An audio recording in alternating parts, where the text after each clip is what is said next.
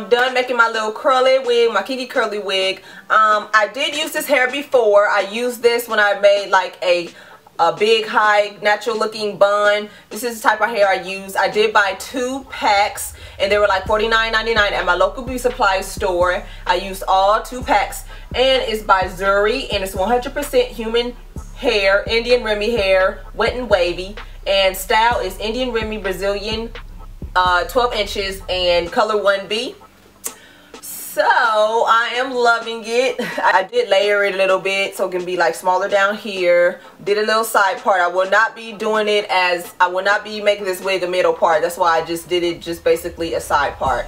You can do a wig um, as a middle part and you can switch it over but I just wanted to do it as a side part. About it what I used on my leave out to blend in with this hair is the Jessie, Miss Jessie's curling pudding or um i forgot the name but i will put it in the information box. I got it from target.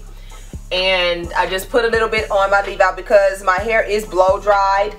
I put a little bit on the leave my leave out and i did a twist out and i left it in for a while and then i untwisted it and it blends in with this hair. So i am fully natural.